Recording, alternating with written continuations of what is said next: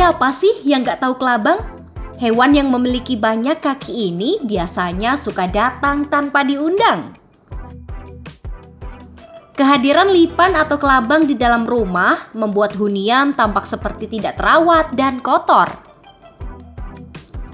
Hewan bertubuh pipih ini kerap muncul di saluran pembuangan air seperti kamar mandi dan dapur. Kok bisa ya lipan masuk rumah?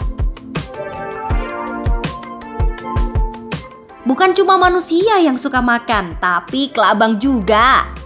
Kelabang-kelabang ini suka banget makan serangga yang ada di dalam rumah.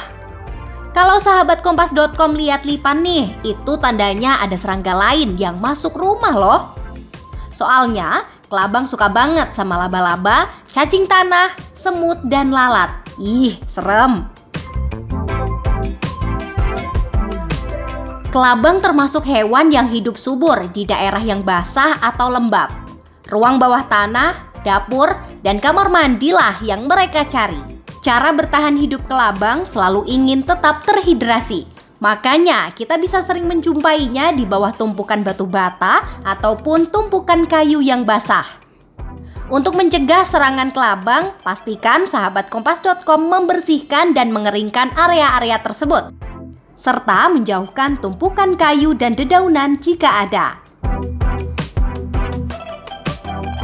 Sahabat Kompas.com tahu nggak? Kelabang sama seperti manusia loh. Mereka nggak mau ada di luar ketika udara sedang dingin.